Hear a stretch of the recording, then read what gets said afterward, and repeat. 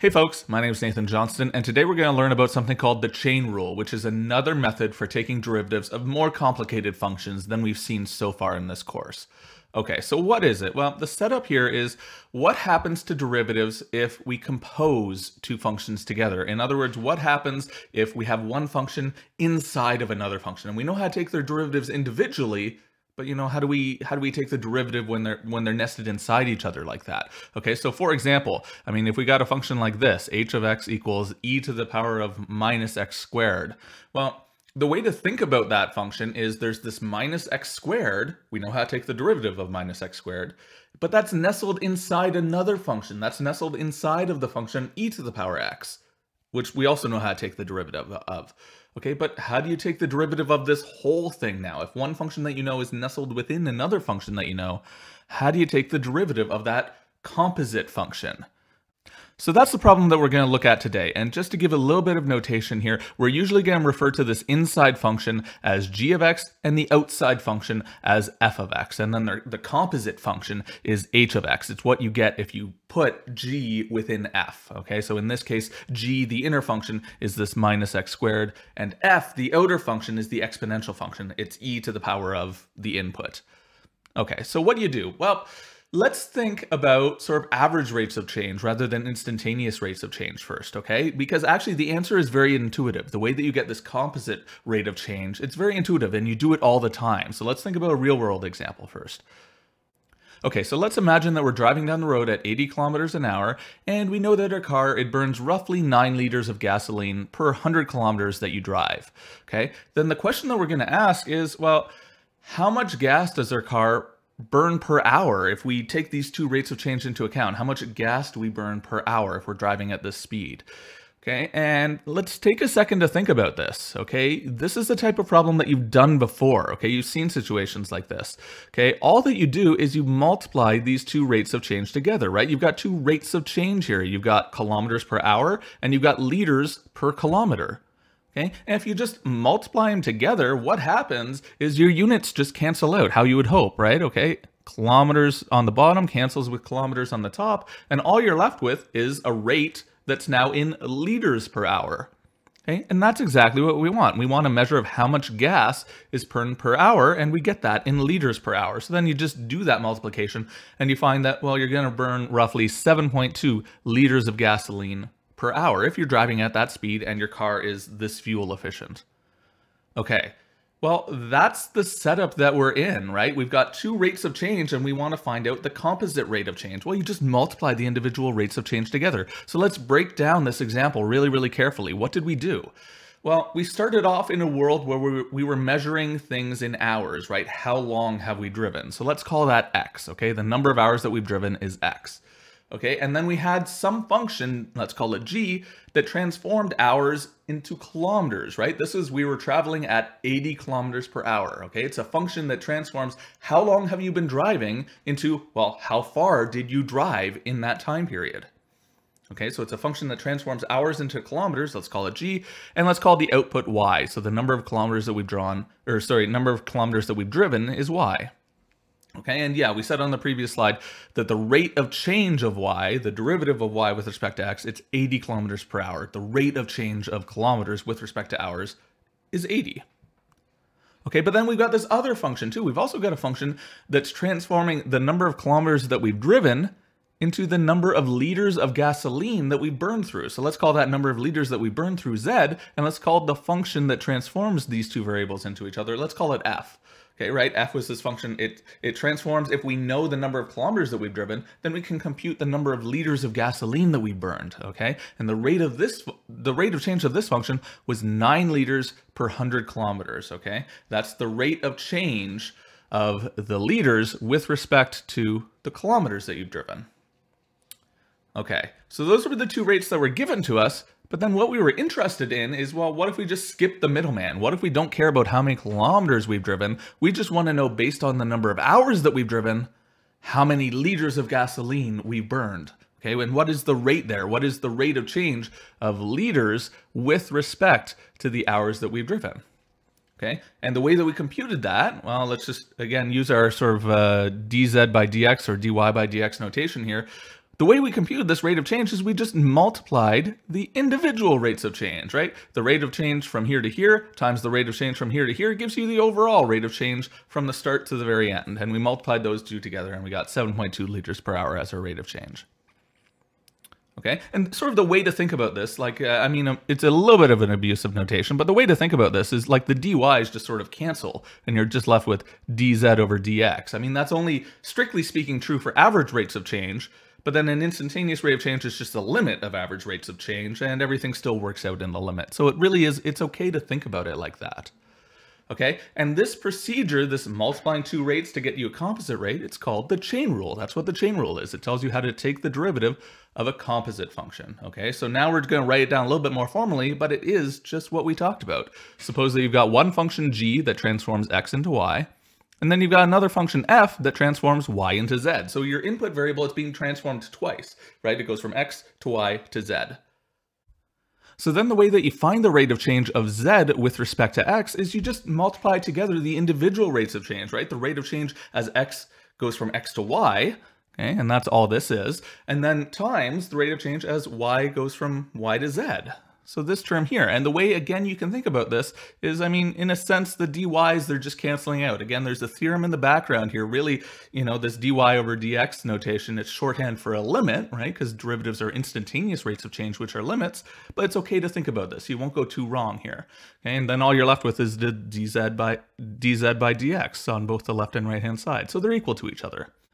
When using the chain rule though, it's very common to change notation from this, okay? We don't often give variable names x and y and z to the different pieces of the input and output process here. Instead, we often say, okay, well, hey, I know y equals g of x, so I'm gonna sub that inside of f here, and that means that the function I'm interested in is f of g of x.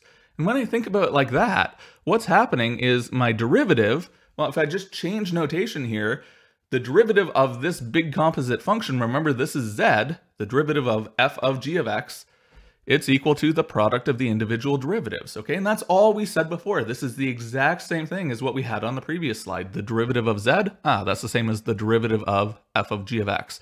And then this is the derivative of g, in other words, the derivative of y. And then derivative of f, well, that's the, you know, derivative of z with respect to y now. This is the dz by dy piece. Okay, but we're sort of not happy with this formula here because our answer depends on two different variables. It depends on x, but it also depends on y. So then I'm just going to make one final substitution.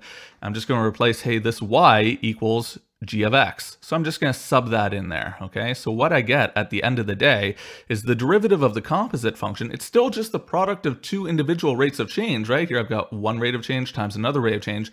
You just have to be a little bit careful to make sure that the f prime piece, you're plugging g into it, okay? And the reason for that is you don't want the derivative of f with respect to x. f doesn't take x in. That wouldn't even make sense. f takes y in. So you want the derivative with respect to y. So this, this is y on the inside, right? That's what my input to f has to be.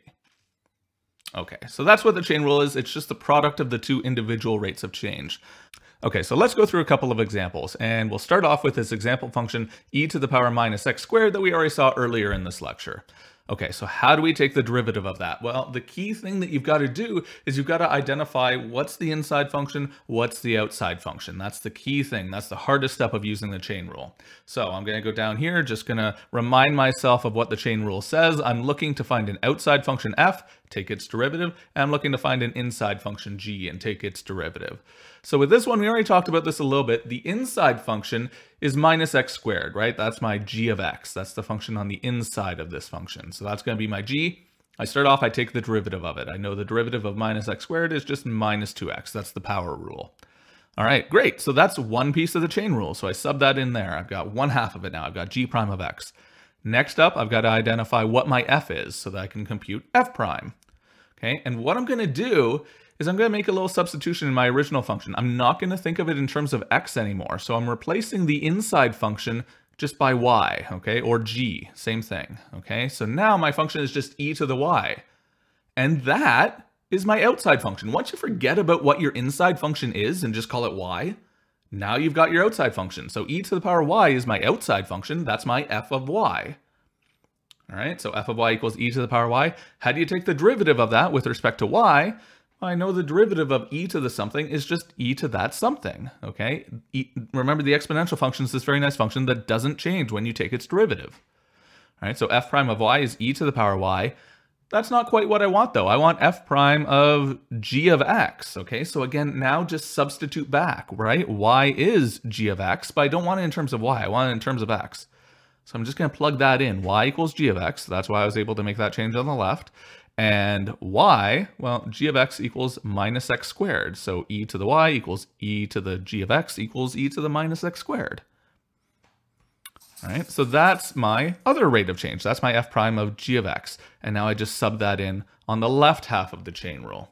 Okay, so that's just all of my work. And now clean things up a little bit just to remind me of what the question is and to simplify the answer down a little bit. The question was, what's the derivative of e to the power minus x squared? Well, it's minus 2x times e to the power of minus x squared. Okay, so I just simplified things down. I just did regular sort of algebra and simplifications there. No more calculus after that last step. Okay, and once you get quicker at these, once you do more and more examples, you're, you're going to be able to do them a lot quicker without all of those intermediate steps, right? Look at what's happening here. The original function was e to the something, so the derivative is just e to the something, because that's the derivative rule for exponential functions. But then what happens is you have to multiply by the derivative of the inside. You multiply by the derivative of minus x squared, which is minus 2x, right? So that's the way to think about the chain rule. It's just, you know, you take the derivative of the outside, you multiply by the derivative of the inside. And that's all we did here. We broke it down into a million different steps, but that's all we did. Derivative of outside times derivative of inside. So let's do another example, okay? So this time our function is going to be h of t equals ln of t cubed minus t. Okay, so first off, the fact that the independent variable here, this input variable is called t instead of x, does not matter. It changes nothing, okay? It's just all of your x's are t's now, okay? It doesn't, doesn't matter what the variable is called, so don't get tripped up on that, okay? So again, we're just gonna start off by writing down what the chain rule is so that we know what pieces we're looking for, okay? We've got to break it down into h of t equals f of g of t. We want an inner and an outer function, okay? And then you take the derivative of the outer function and multiply by the derivative of the inner function. All right, so we look at this function here and we say, oh, ln of something, and it's an ugly something. So that ugly something is going to be our inner function, and then the natural log of it, the ln of it, that's our outer function. Okay, so let's do this. Let's call t cubed minus t, let's call that our g of t. That's our inner function, t cubed minus t. Okay, so then we take its derivative, g prime. Again, we can just use the power rule for this. It's going to be 3t squared minus 1, just using the power rule. And we're going to plug that in down here, g prime of t is 3t squared minus 1. Good, we found the inner piece and we found its derivative. Now, let's substitute back in, okay, t cubed minus t, we want to forget about that inner piece now, so just replace it by y. That whole inner chunk is just y, and now we look at this, that's our outer function. Once you forget about the inner function, what you're left with is the outer function. So our outer function is f of y equals ln of y. Then you take the derivative of that. What's the derivative rule for ln of something? Ah, it's 1 over that something. Okay, so derivative rule, you're going to get f prime equals 1 over y. And now just substitute back in. What is y? Uh, y is g of t, which is t cubed minus t. So just sub that back in. So it's 1 over y, which is 1 over t cubed minus t. Just because we want our final answer in terms of t's, the input variable, right? All right, and now we can substitute this down in here for the other half of the chain rule, and we get our final answer. It's 1 over t cubed minus t times 3t squared minus 1. So again, just the product of the two individual rates of change. And let's just clean up our work a little bit again and remind us what the question was. The question was, what's the derivative of ln of t cubed minus t? Well, it's this fraction down here, okay? I just combined it into one fraction. I multiplied the, the 3t squared minus 1 times the other fraction. Okay, and again, to get a little bit quicker at this and to see what's going on, see what's going on here, well, what happened? How did we get this derivative? Well, I took the derivative of ln and I got 1 over the inside of the lawn, 1, one over whatever's on the inside, 1 over to the t cubed minus t. And then you have to multiply by the derivative of the inside. So what's the derivative of the t cubed minus t? Ah, that's the 3t squared minus 1. Okay, so once you get more comfortable with this, again, you won't have to do all those intermediate steps, okay? It's just derivative of the outside, ah, 1 over the inside and then times the derivative of the inside, the 3t squared minus 1. All right, so that's it for the chain rule. I will see you guys for one more derivative rule after this. We're going to talk about the quotient rule in the next lecture. So how to take the derivative of a function divided by another function. So I'll see you for that soon.